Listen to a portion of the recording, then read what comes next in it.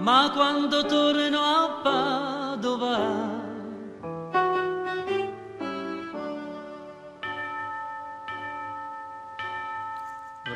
In attesa dell'inaugurazione ufficiale, Padova Sport vi fa entrare nel nuovo stadio a piani. Lavori ormai agli sgoccioli. Ecco la tribuna oggetto del completo restyling voluto e finanziato dai fratelli Vecchiato della Interbrau. Potete vedere la disposizione dei seggiolini bianco-rossi che riprende la croce rossa in campo bianco dello stemma comunale della nostra città e l'installazione dei famosi pannelli votati dai tifosi via Facebook che sono stati posizionati in ordine cronologico a partire da quello che ritrae Silvio Appiani anni per finire nel lato opposto della tribuna all'immagine di un giovanissimo Alex Del Piero.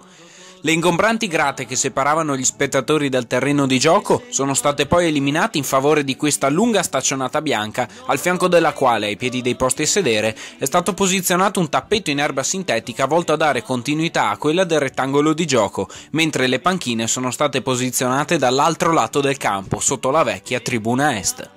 Infine, numerose sono le lastre di vetro che corredano la nuova tribuna, rigorosamente prodotte dalla Sunglass, l'azienda del presidente Bergamin. Nel complesso, un lavoro senza dubbio ben fatto. A voi le immagini. Davanti a sta basilica, chi che ha visto Padova non puoi scordarla più